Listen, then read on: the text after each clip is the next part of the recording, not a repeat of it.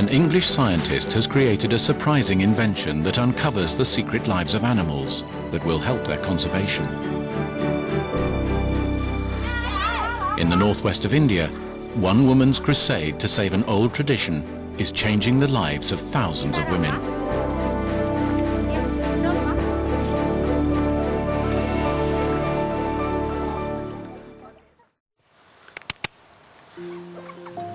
Oh Near Oxford in England, a wild badger is being fitted with a state-of-the-art recording device.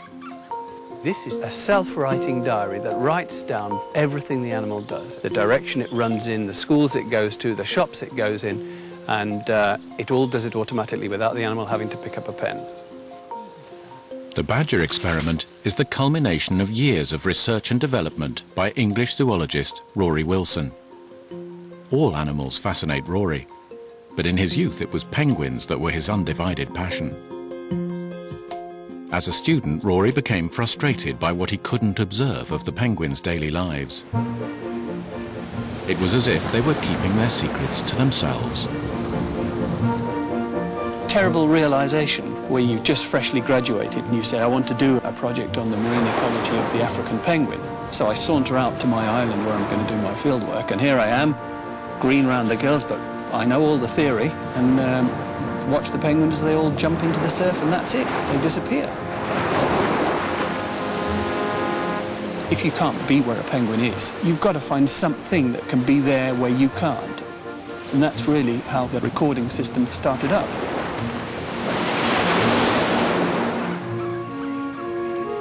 But it became apparent to me fairly recently that it's not just penguins that are the problem there are a whole pile of enigmatic and charismatic animals out there about which we know extremely little and where it's extremely important to know what's going on. Years later, Rory began to think about ways he could unlock those animals' secrets. If he could develop a kind of flight recorder that showed everything the animal did 24 hours a day, seven days a week, he would then get an insight into animal behavior never revealed before. In Wytham Wood, in the heart of England, a group of scientists from Oxford University have been observing badgers for the last 30 years. Badgers are extremely shy and nocturnal. Today they're going to attach one of Rory's electronic diaries to a badger for the first time. Just make a small camp here, then we can bring back. Within science, there's been huge advances in genetics and in biochemistry and understanding bits of animals but that the, for the last couple of decades at least, that the whole animal work, the, the behaviour of the animals, where they go, what they do, why they do it, this sort of thing, this hasn't been really exploited in the same way because the technology has not been keeping up with it. Wait. Rory is a zoologist by training. So to begin with, he had to work with computer and microelectronics experts to create his device. He had to start thinking out of the box. In between his normal duties as a university lecturer, Rory began sourcing tiny electronic components from around Europe to make his multitasking device. Lloyd back. Once he had his prototype, he began to look around for suitable animals to try it out on. The, the first thing I stuck it on was myself, thundering up and down the corridors like a maniac. Uh, and then you think, well, I'm not really a typical animal. Whenever Rory needed to test a new device, he would head off to Rhossili Beach near Swansea in Wales with a ball and a willing assistant, Moon, his border collie. The thing about Moon is she's a marvellously enthusiastic helper. Uh, being a border collie, she likes to run around and be told what to do and run up hills and down hills and catch the ball and, and uh, go left and right and all the rest of it, while the devices record what goes on.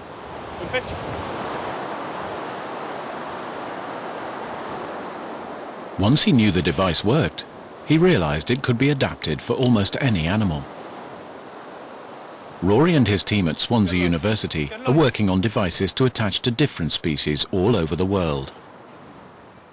Well, what we've got in the magic box is uh, we've got a number of devices in here. The main one is really this one. This device, which we lovingly call the Daily Diary, is a device that records uh, I think 13 parameters in this particular version. And we've also got a camera card on which the data is stored, and this records one gigabyte of information, which works out to be about 750 million pieces of information. The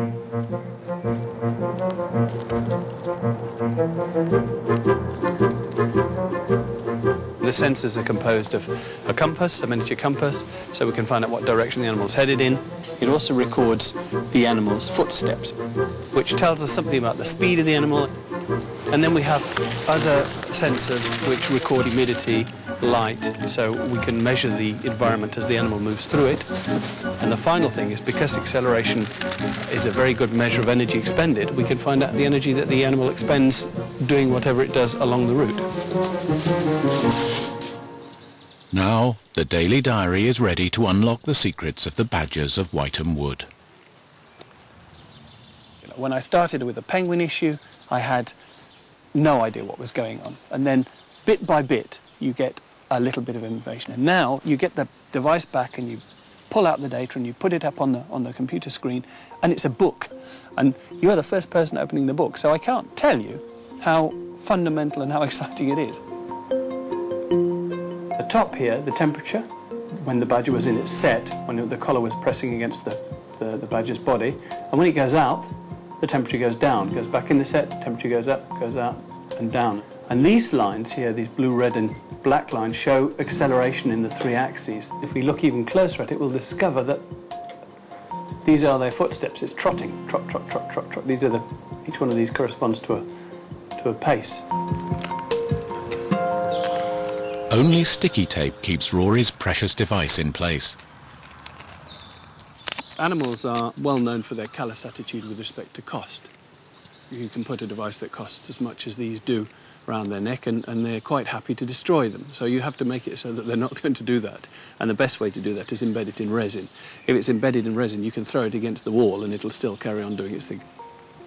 This particular one has been on um, imperial cormorants in Argentina, in Magellanic penguins in Argentina, on a lemon shark in the Caribbean and is now about to go off on a badger. So they have a, a really exciting life. We're very keen not to lose them. Of course, a thing like a badger, you think can't lose it with a badger. Well, they can. They can lose it down their setts, and we can't go down there. If you work with sharks or cormorants, they fly off, and if they lose them at sea, that's another uh, enormous setback. But by and large, we don't we don't lose them.